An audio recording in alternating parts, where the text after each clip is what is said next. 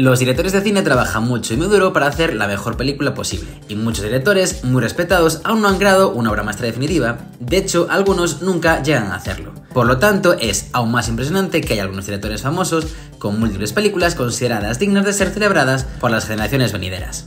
El American Film Institute es un gran recurso para aquellos que desean conocer la historia del cine y ver los clásicos por excelencia que han sido elegidos para representar lo mejor que el medio tiene para ofrecer.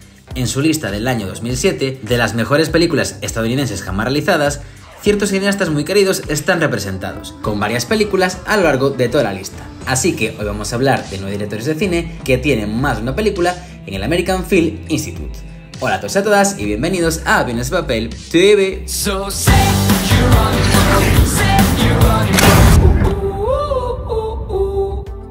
Como os estaba contando, el American Film Institute es una entidad cinematográfica estadounidense independiente y sin fines de lucro, cuyo cometido es educar cineastas y honrar el patrimonio de las artes cinematográficas en los Estados Unidos. El AFI es conocido mundialmente por dos motivos en especial las listas que desde 1998 publican cada año, desde el centenario de su creación, acerca de lo mejor del cine y los premios honoríficos que concede a los personajes más destacados del mundo del cine estadounidense. También preserva películas antiguas, en especial las que están en riesgo de degradación del soporte fotográfico utilizado para la filmación y proyección de la película. Son muchos los que consideran que las listas que ofrecen son irrelevantes porque solo tienen en cuenta el cine estadounidense. Incluso se cuestiona el hecho de que exista aún muchísimas personalidades importantes y con mucha más relevancia dentro del mundo del cine y no se les haya tomado en cuenta para premiar su trayectoria. Pero hoy vamos a hablar de nueve directores con más películas en el top 100 de películas de la AFI. Martin Scorsese, con tres películas. Martin Scorsese es más conocido por inventar el género de las películas policiales con su uso de narrativas crudas, elecciones de edición no lineales y toques creativos. Si bien Malas Calles es la película que puso a Scorsese en el mapa durante la era del nuevo Hollywood de los años 70, el AFI eligió a Taxi Driver, Toro Salvaje y uno de los nuestros como algunas de las mejores de todos los tiempos. Charlie Chaplin. Charlie Chaplin es quizás el director más importante del género de la comedia, ya que fue una de las estrellas de la era muda de Hollywood, que existió antes del surgimiento del talkie en la década de 1930. Chaplin no solo fue un gran director y escritor, sino una de las estrellas de cine más carismáticas de todos los tiempos, gracias a cómo perfeccionó el personaje de El Vagabundo, a lo largo de varias de sus películas más queridas. Las películas de Chaplin incluidas en la lista de Lafis son Luces de la Ciudad, La Quimera del Oro y Tiempos Modernos. John Huston. John Huston tiene una de las filmografías más extensas de cualquier cineasta, ya que dirigió clásicos de Hollywood durante más de cuatro décadas. Si bien Houston aparecía ocasionalmente frente a la cámara en películas como Chinatown y The Other Side of the Wind, su mayor talento era contar retratos convincentes de la condición humana. La escala y la profundidad que alcanzaron las películas de Houston fueron un gran avance durante las eras en las que trabajó. Houston dirigió varios clásicos seleccionados por Laffy que representaron logros importantes en sus respectivos géneros: El Halcón Maltés, El Tesoro de Sierra Madre y por último La Reina de África.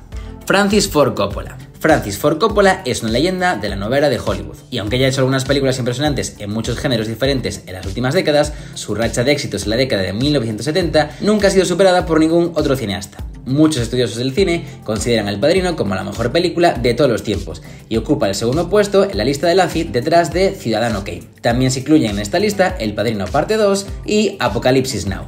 Frank Capra. Frank Capra es responsable de más clásicos que hacen sentir bien a la gente que prácticamente cualquier otro cineasta. Lo que demuestra que el hecho de que una película esté destinada a complacer al público no significa que no pueda ser también ambiciosa desde el punto de vista artístico.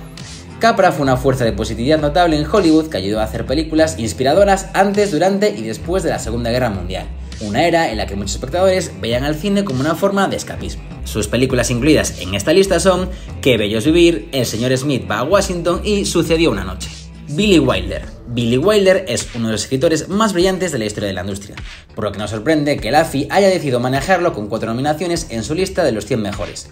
No hay muchos directores que también tengan responsabilidades de guionista, lo que hace que sea aún más impresionante que Wilder haya tenido éxito en ambos campos, creando algunos de los clásicos más atemporales del cine en el proceso. Las películas de Wilder son todas radicalmente diferentes, lo que demuestra que se sentía igual de cómodo con el drama que con la comedia. El Crepúsculo de los Dioses, con Fallas en lo Loco, Doble Identidad y El Apartamento son sus películas incluidas en la lista AFI. Alfred Hitchcock. Alfred Hitchcock es conocido como el maestro del suspenso, por una razón, ya que es quizás el cineasta más influyente en el desarrollo del género del thriller. Lo más impresionante del ascenso de Hitchcock a la fama es que se convirtió en un factor de marketing por derecho propio. El público a menudo se arriesgaba a ver nuevas películas simplemente porque el nombre de Hitchcock estaba asociado al cartel. Las películas de Hitchcock incluidas en la lista de Laffy representan solo una fracción de las obras maestras que hizo, pero siguen siendo clásicos que han influido significativamente en el medio.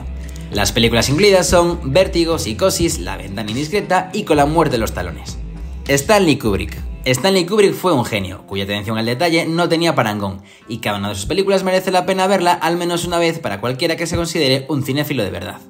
Si bien algunas de las obras maestras de Kubrick, como Es Shot o La chaqueta metálica, generaron algunas controversias en su estreno inicial en cines, el AFI honró con cuatro nominaciones en la lista. Y es impresionante lo radicalmente diferentes que son estas cuatro películas. 2001, Una odisea en el espacio, La naranja mecánica, Espartaco y Teléfono rojo, Volamos hacia Moscú.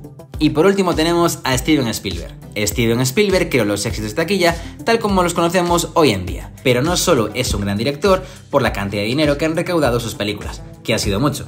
Spielberg es un cineasta con un amor sincero por el trabajo artesanal, que se encarga de poner una increíble cantidad de esfuerzo en brindar a sus espectadores la mejor experiencia posible. Y aunque Spielberg ha dirigido docenas de grandes películas, el AFI lo honró con 5 entradas muy merecidas en su lista de las 100 mejores. Y estas películas son Indiana Jones en busca del arca perdida, ET el extraterrestre, Tiburón, la lista de Schiller y salvar al soldado Ryan.